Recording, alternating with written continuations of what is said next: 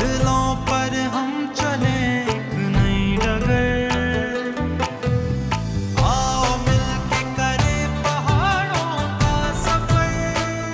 पहाड़ों पुरान पहाड़ों के सफ़र के साथ मैं हूँ नसीर अब्बासी और आज आपको लेके आया हूँ डिस्ट्रिक्ट शांगला के एक और खूबसूरत मकाम के ऊपर, जिसको कहा जाता है दशते लैला सुबह हमने अपने सफ़र का आगाज़ किया था अलपुरी, जो सदर मकाम है, शांगला का, उसके करीब एक लेलोनी अड्डा है, वहाँ से जीप हायर की, और खूबसूरत रास्तों से होते हुए हम यहाँ पहुँचे दश्त लैला में, जो जंगलों में गिरा हुआ एक खूबसूरत मेडो है।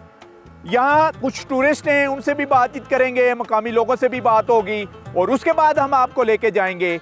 एक और टाप है, कंडाओ। उसके बारे में भी बताएँगे कि क्योंकि वहाँ से भी खूबसूरत व्यू नज़र आता है फॉरेस्ट का, जहाँ तक हम नज़र डालें, दूर तक बुलंदो बाला पहाड़ और पहाड़ों के साथ साथ ये खूबसूरत जंगलात जो हैं, डिस्ट्रिक्ट शांगला के खैबर पख्तूनख्वा के खूबसूरत डिवीज़न, मलाकंड की ये वादियाँ हिस्सा हैं और डिस्कवर पाकिस्तान और पहाड़ों के सफ़र की टीम का ये सफ़र जारी है। अनएक्सप्लोर्ड साइट को एक्सप्लोर करने का देखते रहें प्रोग्राम पहाड़ों का सफ़र और एंजॉय करें इन खूबसूरत वादियों को।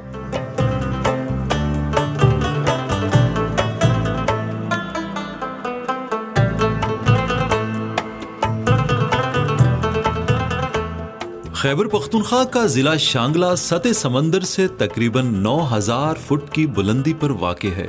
दिलकशो दिल फरेब नज़ारों की सरजमीन वादी शांगला के मशरक में ज़िला बटग्राम और तोरगर मगरब में वादी सवात, शुमाल में कोहिस्तान, जबकि जुनूब में ज़िला बोनेर वाक़ है। इस मरतबा टीम पहाड़ों का सफ़र ने वादी शांगला के अनएक्सप्लोर सियाहती मकाम को एक्सप्लोर करने के लिए अपने सफ़र का आगाज़ सदर मकाम अलपूरी से किया।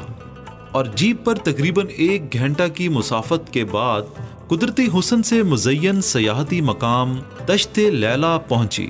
2008 में इस जगह को अलिफ लैलवी दास्तान से माखूज दश्त लैला का नाम दिया गया। जबकि इस मकाम के नाम के बारे में मकामी अफराद में कई तरह की कयास आराइयाँ पाई जाती हैं।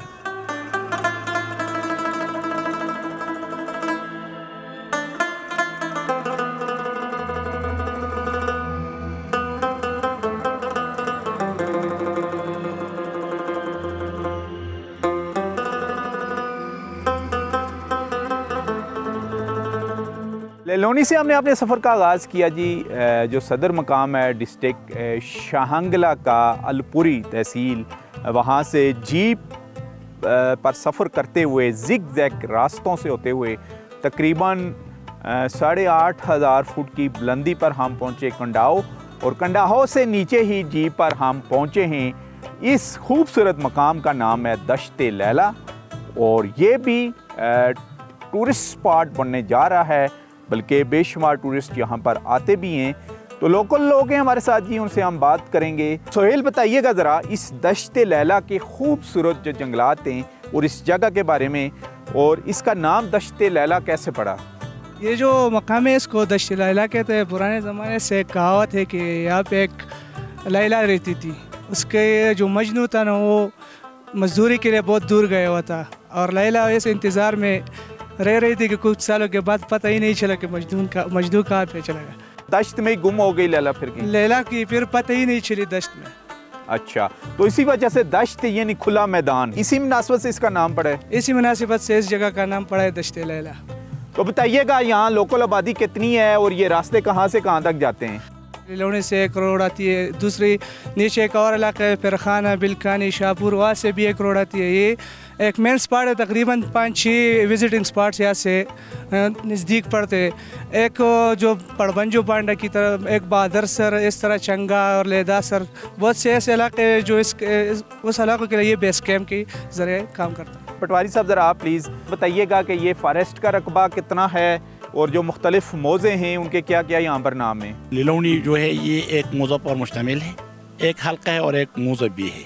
इसके अलावा लिलौनी में एक और हल्का है हल्का बांडा चीना इसमें चार मुआवजात है मोज़ा शीशण मोज़ा कस और मोज़ा बांडा चीना और मोज़ा मनाई।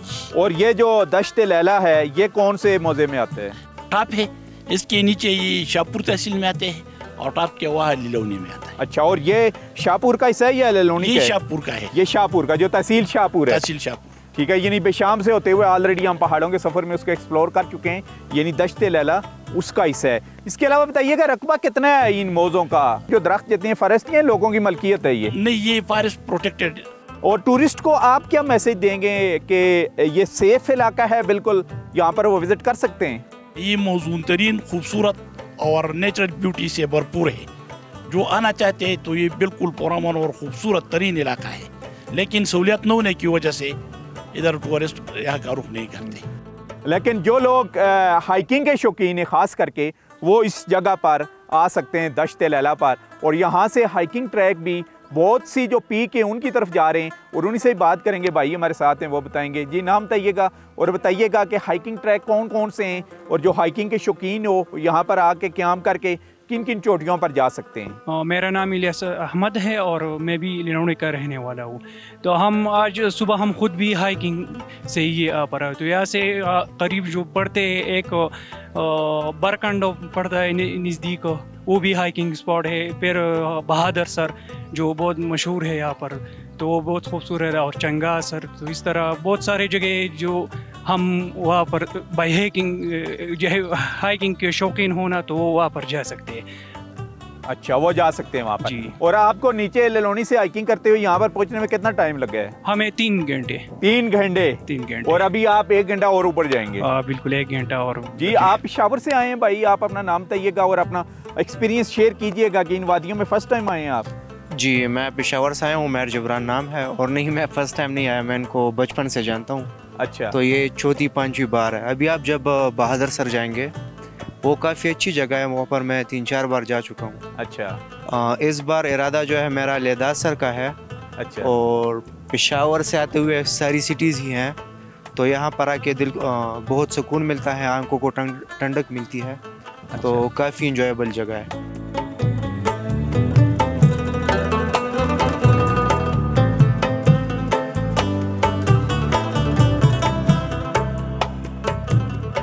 दश्त लैला के ऊपर ही हम इस वक्त मौजूद हैं। खूबसूरत मेडो है और कुछ लोकल हैं हमारे साथ जो तकरीबन इनका गाँव दो किलोमीटर नीचे है जी। तकरीबन। नाम क्या आपका? शाहिद उस्मान। अच्छा शाहिद उस्मान आप इस जगह के बारे में क्या कहेंगे जी? कि किस वजह से मशहूर है ज़्यादा? यहाँ पे आपको नेचुरल जो खूबसूरती है वो आपको देखने को मिलती है। मतलब पूरा जो है ना फिज़ा ये एक कुदरती माहौल है। आपको फ्रेश सब चीज़ें यहाँ पे मिलती हैं। और इन इलाकों से होके और कहाँ कहाँ जाते हैं वो? यहाँ पे जो अनएक्सप्लोर एरियाज़ हैं उनमें एक ऊपर एक दश्त है बंजई सम नाम है उनका। ठीक है। वो भी काफ़ी बड़ा है खूबसूरत जगह है। और जो एक्सप्लोर कर रहे हैं आजकल लोग वो बादर सर मेडो हैं। ठीक है। वहाँ पे काफ़ी रश होता है लोगों का। हम्म। वहाँ इनशाला हम आपको लेके जाएँगे। रोड इंफ्रास्ट्रक्चर का आप कुछ बता रोड की हालत आपने देख ली सर जी काफ़ी ख़राब है। यहाँ पे फोर बाई फोर जीपें चलती हैं। मतलब ट्रांसपोर्ट बारे में अगर मैं आपको बताऊँ तो काफ़ी रास्ता ख़राब है। यहाँ पे टूरिस्ट जो भी आते हैं लोकल जीप हायर करते हैं उसके थ्रू आते हैं यहाँ पे। आला हुकाम से आपके तवसत से एक मैसेज देना चाहते हैं। जी जी प्लीज़ दें। अगर इस रोड पे काम हो जाए तो यहाँ पे लोकल जो रहायशी है काफ़ी बड़ा इलाका ही है दो गाँव लगते हैं 22 किलोमीटर रोड बनता है ये बिलकानी और लिलौली का।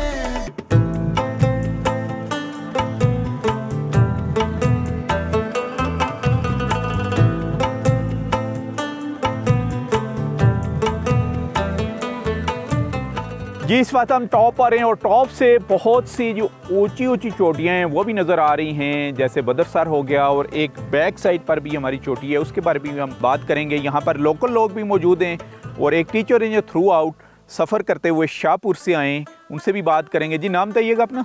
हाजी नवाब। अच्छा हाजी नवाज़ साहब बताइएगा किन किन इलाकों से होते हुए आप यहाँ पर पहुँचे हैं और इन इलाकों के बारे में ज़रा बताइएगा इनकी सकाफ़त के बारे में इनकी रवायात के बारे में। मेरे साथ जो स्टूडेंट्स आए हैं तीन दिन के सफ़र पे हैं और मुख्तलिफ़ इलाके क्रॉस करते हुए यहाँ पहुँचे। पहले तो ये है कि शाहपुर से बरकाना दामोड़ी बिलकानी फिर आगे जाके तो उलंदर और ब्रज बांडा आता है लेकिन हमने साइड पे मोड़ लेकर इस बांडे को आए। आ, हमारा प्लान ये है कि इंशाल्लाह हम छांगा जाएँगे आ, और आज रात यहाँ गुजारेंगे। कल इंशाल्लाह सुबह सवेरे बादर सर भ्रीमबांडा कोपर सर सपर सर एंड कड़ाल सर वहाँ इंशाल्लाह जाएँगे।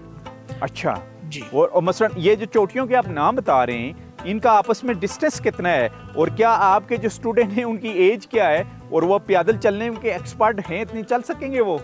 ये सिक्स से लेकर टेन तक स्टूडेंट्स हैं। और सालाना शेड्यूल का हिस्सा है हमारा। ये हाइकिंग हर साल हम करते हैं। 2002 से लेकर आज तक और ये 2024 हैं। तो इंशाल्लाह उसमें ये स्टेमिना है उसका कि इंशाल्लाह वो ये पैदल सफ़र कर सकते हैं। और एक चोटी दूसरी चोटी के दरमियान 45 मिनट का दो घंटे का तीन घंटे का रास्ता है। लेकिन हम स्टे करेंगे फिर जाएँगे फिर स्टॉप करेंगे फिर जाएँगे। तो आहिस्ता आहिस्ता यानी जो चोटियों का बता रहे हैं वहाँ पर आप कैंप भी कर सकते हैं या बेस कैंप आपने सिर्फ़ दश्ते लैला में ही करना है? बेस कैंप दश्ते लेला में है। और वहाँ सिर्फ़ आरिजी तौर पर कैंप लगाएँगे।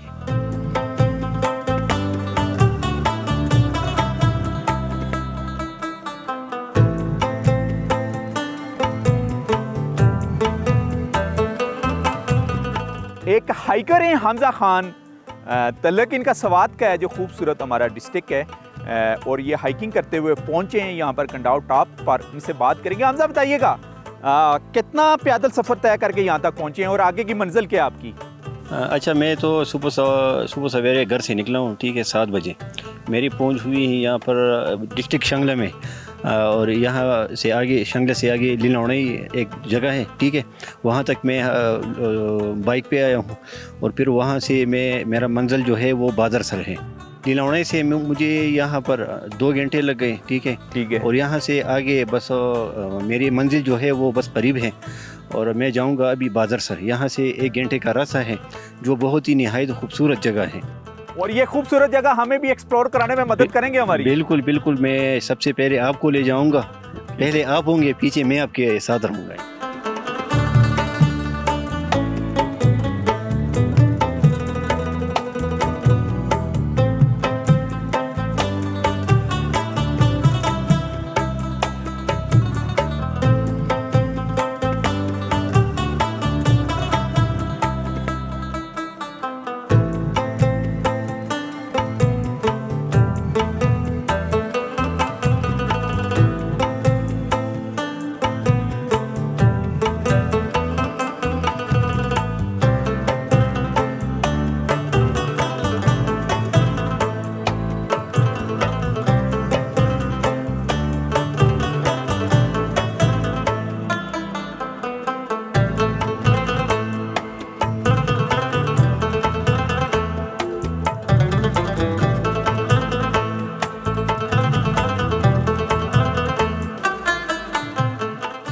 कुछ मोहम जो सयाह कंडाओ से तकरीबन डेढ़ घंटे की हाइकिंग करके यहाँ के मशहूर मकाम बहादुर सर भी पहुँचते हैं, जो एक वसी अरीज और सरसब्जो शादाब मैदान है, जहाँ खाना बदोशों की बिखरी हुई आबादी एक मुनफरद नज़ारा पेश करती है।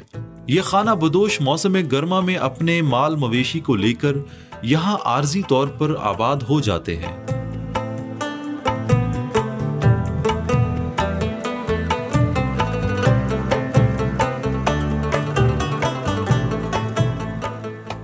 टाइम एक्सप्लोर करने पहुँचा हूँ मैं इस खूबसूरत मैडो बहादुर सर को, जो डिस्ट्रिक्ट शांगला में है।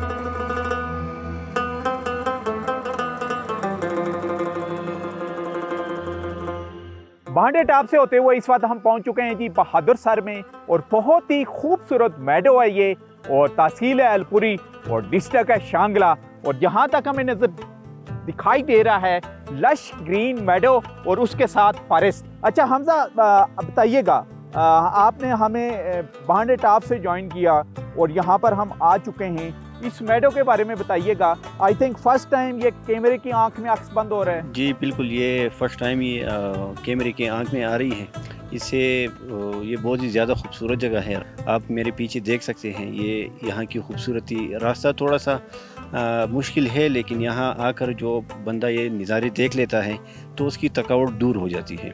बहुत ही ज़्यादा खूबसूरत जगह है। जी।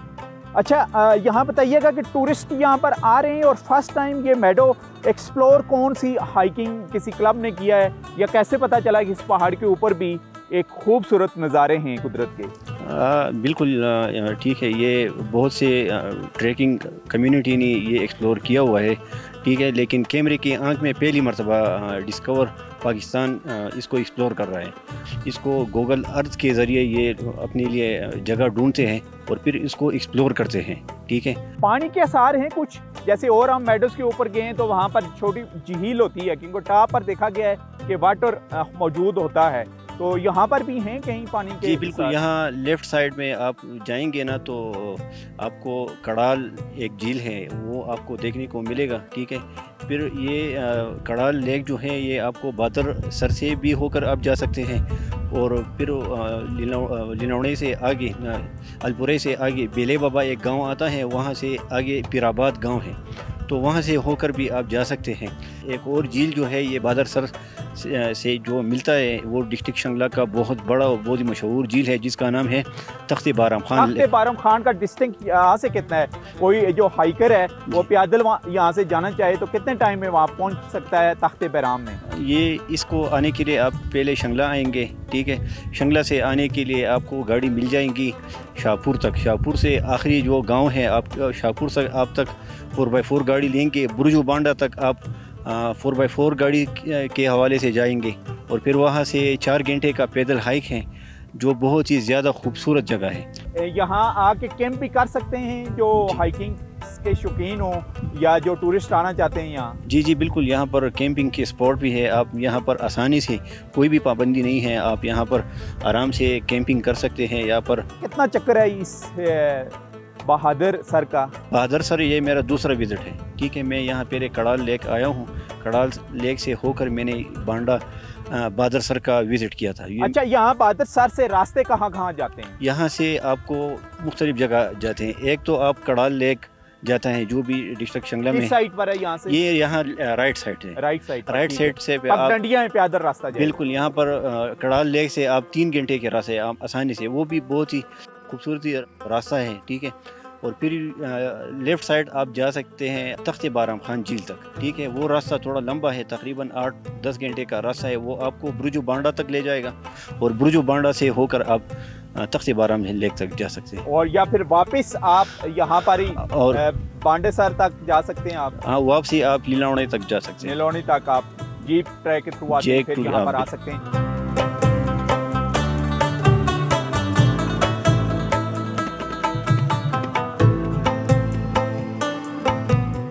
लोकल हैं इसी तहसील से वाबस्ता हैं। इन्हीं से ही हम पहुँचेंगे। बताइएगा ज़रा खाना बदोशों के बारे में हमें इनके मकान नज़र आ रहे हैं यहाँ पर।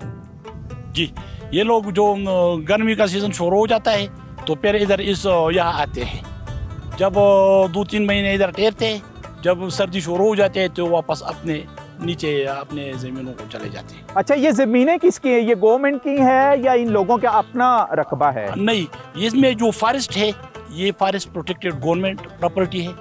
और जो आबादी है, ये लोगों की मलकियत है।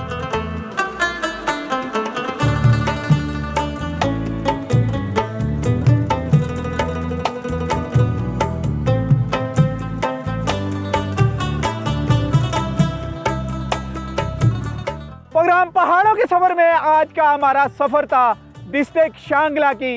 इन खूबसूरत वादियों का सफ़र का आगाज़ किया सुबह हमने लेलोनी से लहलौनी से होते हुए हम पहुँचे कंडाव टॉप एक खूबसूरत छोटा सा मेडो और दश्त लैला को आपके लिए एक्सप्लोर किया।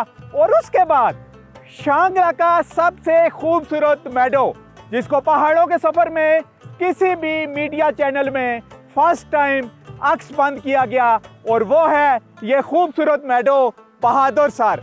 बहादुर सर हम पहुँचे यहाँ पर टूरिस्ट से बात की। कि ये जो बहादुर सर है, तकरीबन सतह समुद्र से इसकी बुलंदी 9000 फुट है और यहाँ पर, क्योंकि अभी गर्मियों का सीज़न है तो ये जो खाना बदोश हैं, यानी जो हमारे गुजर भाई हैं, अपने अजड़ लेके इस मैडो के ऊपर पहुँचे हुए हैं और तकरीबन अक्टूबर तक, यानी सितंबर के एंड तक, वो यहाँ पर ही गुजर बसर करेंगे और साथ ही एक खूबसूरत मस्जिद भी ये तामीर कर रहे हैं और उसके बाद ये अपने अजड़ ले के नीचे यानी शहरों की तरफ़ मूव करेंगे सोआबी और मर्दान की तरफ़। आने के लिए रास्ता जैसे मैं आपको बता दूँ टूरिस्ट के लिए टूरिस्ट मैप कि आप सदर मकाम मेलपुरी पहुँचे, लैलोनी से होते हुए वहाँ से आपको जीप मिलेगी, जो आपको कंडाव टाप तक लाएगी, और वहाँ से आप पैदल हाइकिंग करते हुए तकरीबन one hour and twenty five minute तक इस खूबसूरत मैडो पर पहुँच सकते हैं और इसको एंजॉय कर सकते हैं। पहाड़ों के सफ़र का अहम ही यही है कि पाकिस्तान की और ख़ास करके खैबर पख्तनख्वा की ये जो खूबसूरत अनएक्सप्लोर्ड साइड हैं, आपके लिए एक्सप्लोर करें। और इस मिशन पर मैं पहुँचा था यहाँ पर। देखते रहें प्रोग्राम पहाड़ों का सफ़र और इस खूबसूरत मैडो से जो बहादुर सर मैडो है नसीर अब्बासी को इजाज़त दीजिए। नेक्स्ट वीक किसी और डिस्ट्रिक्ट में आपसे मुलाकात होगी। तब तक के लिए अल्लाह हाफिज़।